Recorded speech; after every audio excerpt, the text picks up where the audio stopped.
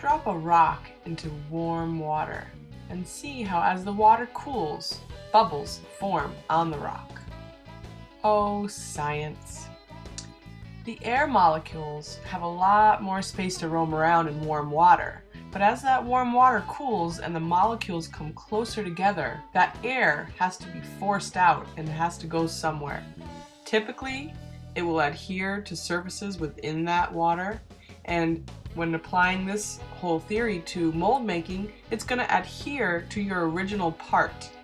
This is what we want to avoid, and I'll show you how. Seal porous objects made of plaster or wood with several layers of polyurethane spray, shellac, or any other wood sealer, and let it dry sufficiently. Don't use too much mold release. Spray lightly and be sure to wipe away any excess that you see in your mold box or on your original object. After you spray your mold release, spray Bubble Buster. Uh, this is a PVA water solution that will reduce the ability of the bubbles to adhere to your master. Be mindful not to boil the Composimold in the microwave or stir too many bubbles into it.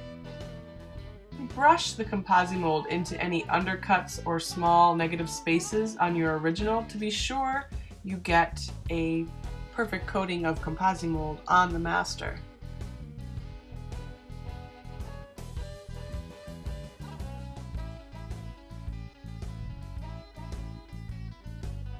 You may be introducing too many bubbles when you pour the Composimold into your container.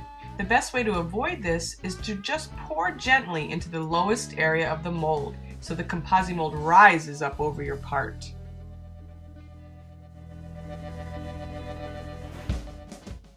Tap your mold on the counter to release some of the air bubbles. You can also lightly vibrate your mold box. Use a toothpick to pop or guide bubbles away from your original object.